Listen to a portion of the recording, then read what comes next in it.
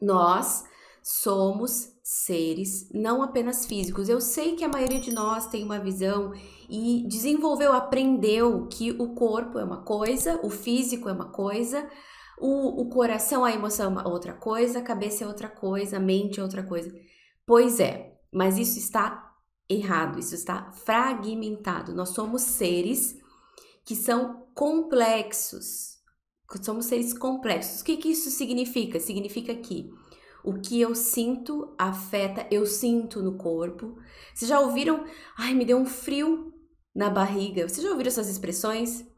Nossa, me deu uma dor de barriga, fiquei nervosa, fiquei com dor de barriga. Nossa, me deu um, um, um calor de raiva. Vocês já ouviram essas expressões? O que, que isso significa? Que as emoções só podem ser sentidas através do corpo. Que os pensamentos e crenças que nós temos só podem ser vividos, percebidos através do corpo. Então, é uma ingenuidade da nossa parte não entender o quanto o nosso emocional, o nosso mental é sim capaz de nos trazer sintomas ao longo do tempo. Por quê? Porque se ao longo do tempo eu não tiver uma boa relação com as minhas emoções, o meu corpo vai apresentar sinais. E aí, o que, que aconteceu com a maioria de nós na nossa educação? Vocês lembram o que, que aconteceu?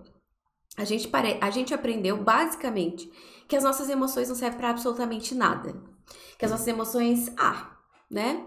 Emoção não serve para nada, não tenho não sei muito o que fazer com isso, até porque a gente foi, a maioria de nós foi criadas, né? Foram, foram uh, cuidadas por pessoas que não tinham uma boa relação com as emoções. Inclusive, diziam pra gente engolir o choro. Quem é que não ouviu que tinha que engolir o choro?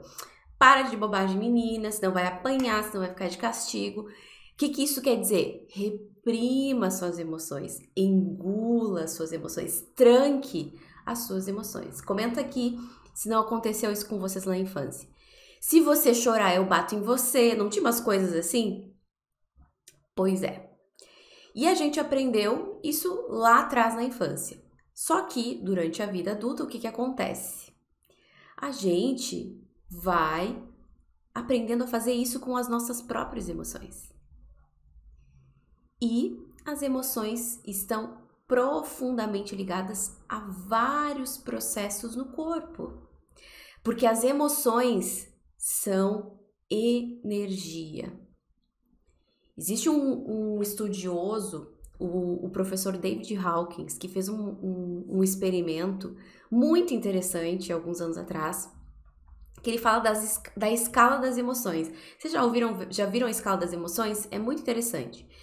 Ele mediu as emoções e viu qual é o nível, qual é a vibração em hertz que essas emoções têm.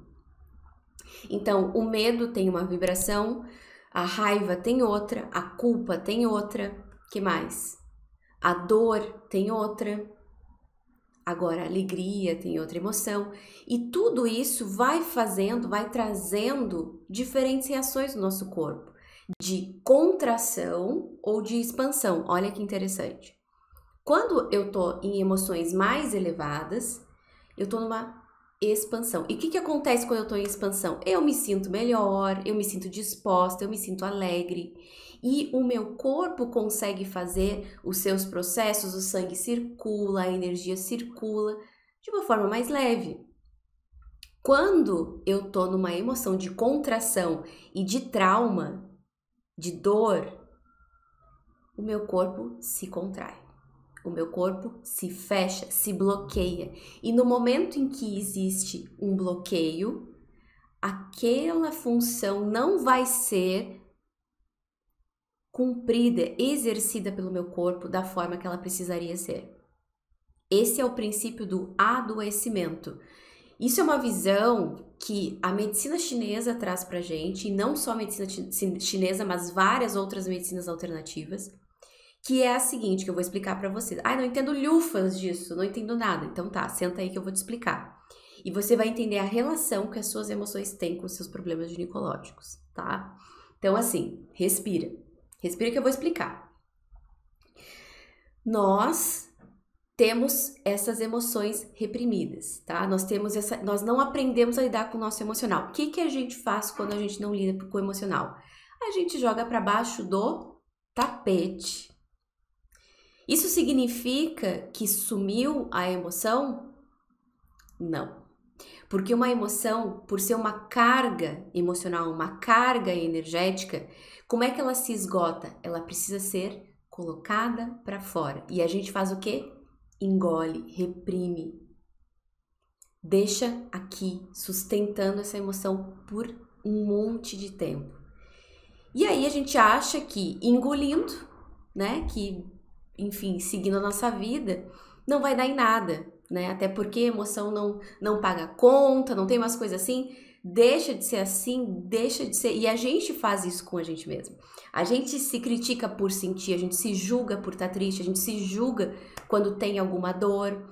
A gente sabe muito bem que durante a vida a gente vive lutos, né? Pessoas que a gente que são importantes pra gente, que a gente precisa chorar, tristeza, ninguém consegue estar tá feliz 100% do tempo, gente. Isso é humanamente impossível. E a gente se cobra estar todo o tempo felizes. Então, a gente não lida bem com as emoções tristes, as emoções difíceis, as emoções de contração. E o pior, como a gente não se permite viver elas, o que, que a gente faz? Prende elas no corpo. E aí vem um outro ponto muito importante, que nós, em nível sutil, nós temos o corpo físico, matéria, tá? Células, tá? Um monte de coisa onde tem sangue, tem tudo mais. Mas a gente tem essa parte sutil que é o corpo emocional. E o nosso corpo emocional, ele tem como se fossem caninhos, como se fossem tubos onde a energia circula. A gente não tem vasos, não tem veias. Pois é. No nível sutil, a mesma coisa. Mesma coisa. Só que se eu prendo a emoção, aquele canal energético vai se bloquear em algum momento, em algum lugar. E se ele está bloqueado, em algum momento vai aparecer no meu físico o resultado desse bloqueio.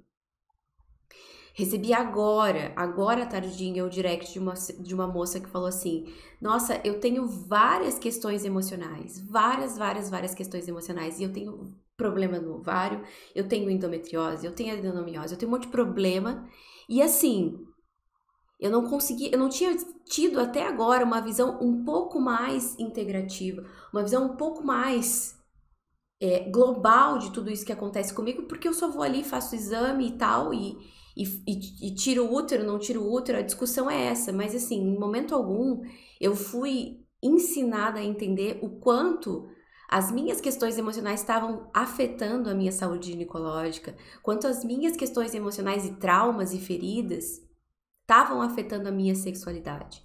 E aí nós temos que entender uma coisa, que nós mulheres, no corpo sutil, tá?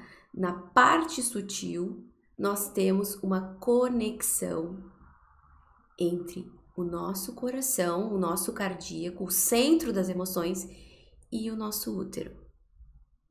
Vou repetir para você ter isso muito claro dentro de você. Nós mulheres temos no corpo sutil uma conexão entre o nosso sentir, o nosso coração, o nosso cardíaco e o nosso útero.